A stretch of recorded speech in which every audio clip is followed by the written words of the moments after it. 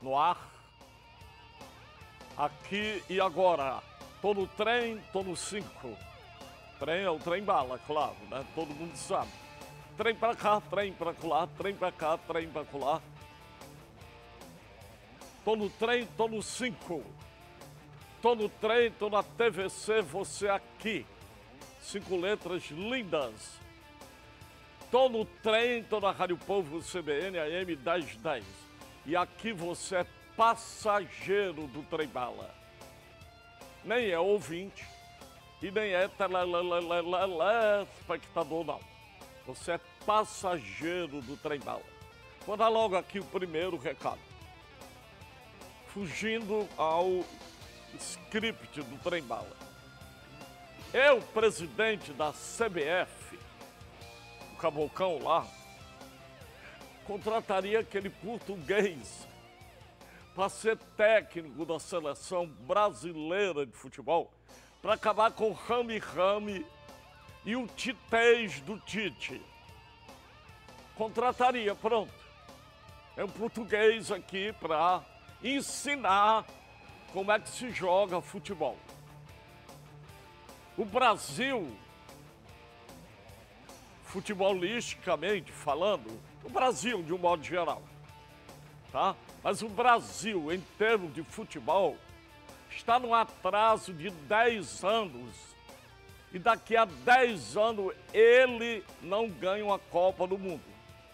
Com esse pessoal aí, Tite, Mano Menezes, não sei quem, Filipão, etc., não ganha Copa do Mundo. Eu contrataria aquele português do Flamengo, uma doidinha ontem no Grêmio. Aquilo foi uma doidinha. O Grêmio ficou louco, varrido dentro de campo, feito uma barata tonta. Eu contrataria. Pronto. A partir de agora, terminou o seu contrato com o Flamengo. Você vem para a CBF dirigir a seleção. Tem dois anos para formatar uma seleção brasileira. Pronto. Porque aquilo foi um baile no Maracanã. É impossível você fugir deste assunto aqui no Trem Bala. Foi um baile. Incrível como um time de futebol joga em ritmo de velocidade o tempo todo e um ataque com três homens se revezando o tempo todo, três atacantes, é para endoidar qualquer defesa. Como pôr isso em prática? Não tem nada difícil não. Este futebol que se pratica na Europa é este futebol. É este modelo de futebol. Não é outro não. Não é o futebol rame-rame daqui, né? o tico-tico no fubá, bolinha para frente, bolinha para trás, bola para ali, bola para colar e não vai para o ataque, meu Deus do céu.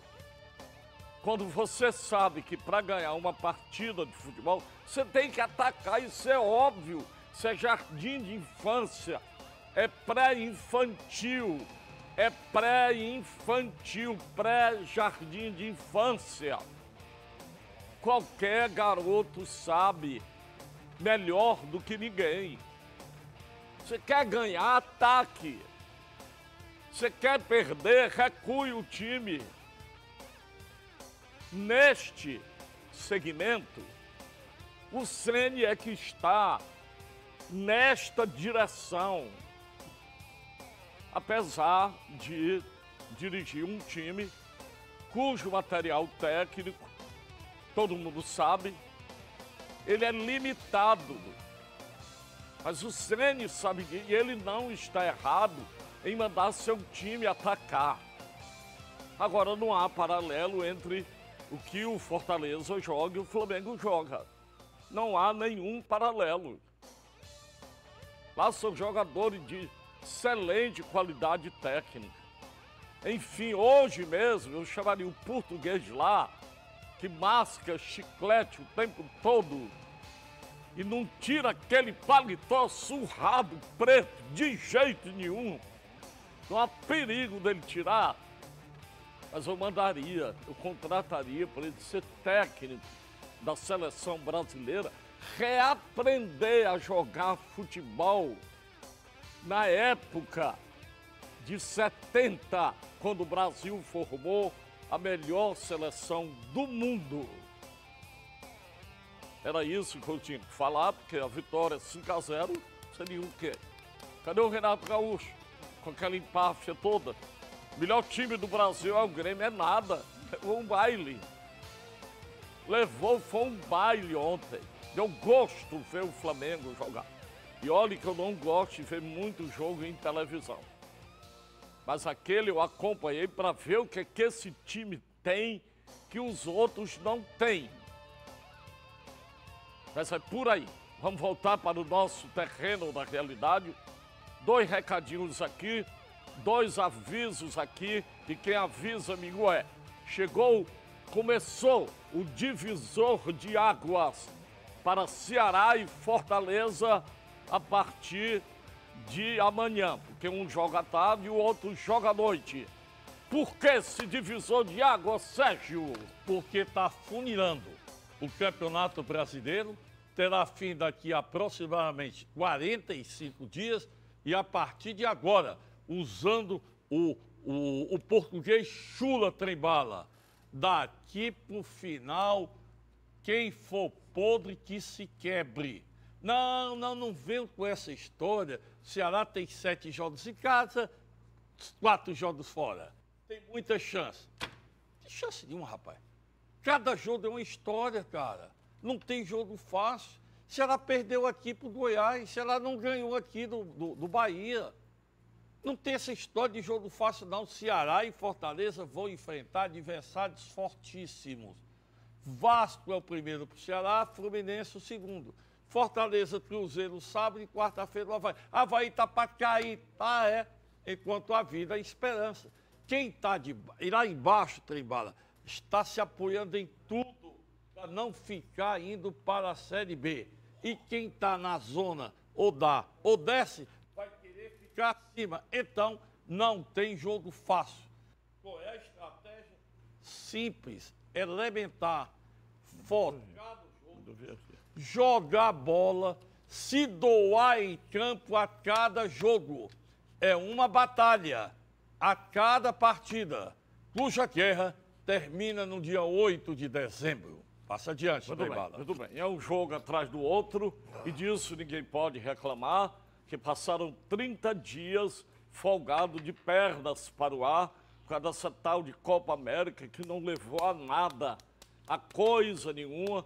E eu disse, vai acorchar, o, vai apertar o calendário lá na frente. Modo que ninguém tem que reclamar, porque tem jogo sábado, e tem jogo domingo, e tem jogo quarta, e tem jogo sábado, segunda, domingo. Não tem do que reclamar, já estava previsto.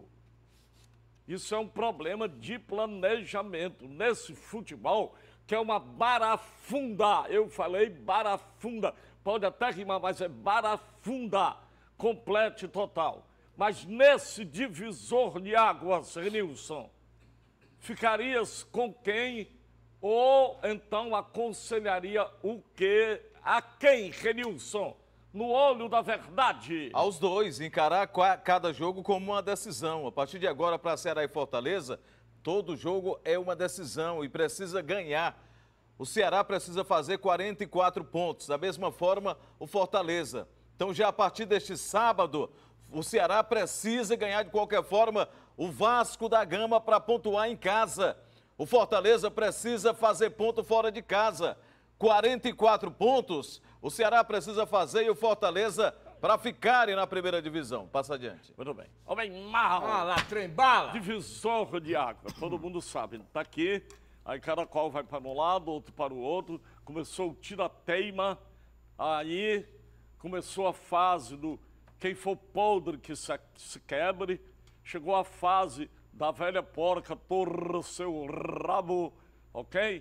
Nesse divisor de águas, você daria conselho o que, o que fazer e a quem? Se bem que você é um péssimo conselheiro, homem mau, aos dois, adiante. Aos dois, que não criaram vergonha e não contrataram um time à altura. Pronto, aos dois. Agora é alta superação. Agora, sete jogos em casa quer dizer o quê? Não muita coisa. Se não tiver qualidade. Você garante que o Ceará vai ganhar do Vasco no sábado? Eu torço para ganhar. Mas torcer é uma coisa. Na Você prática é outra contra, coisa. né? Não, eu torço a favor do, do Ceará ganhar. Como o jogo lá da vingança, lá, Cruzeiro e Fortaleza, é outra pedreira. É jogo de matar. Tanto para um lado como do outro, como para o outro lado. É o Sene com a moral dele, certo? Não saiu com essa moral lá, botaram para fora. E a turma que o colocou para fora. É duro, minha gente, é duro. Essa gangorra trembala.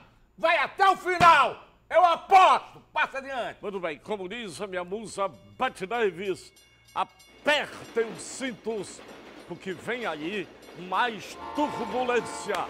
Parte tribala, parte tribala, parte tribala, parte tribala, parte trembala.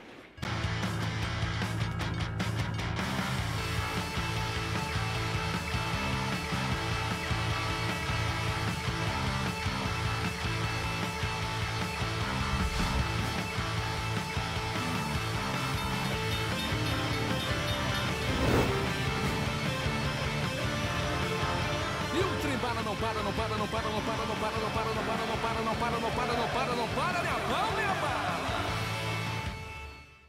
Maravilha Self Service. O nome já diz tudo. Simplesmente uma maravilha. Venha e comprove. Maravilha Self Service. Servindo bem para servir sempre. Maravilha. Maravilha Self Service. Faça do seu almoço uma maravilha.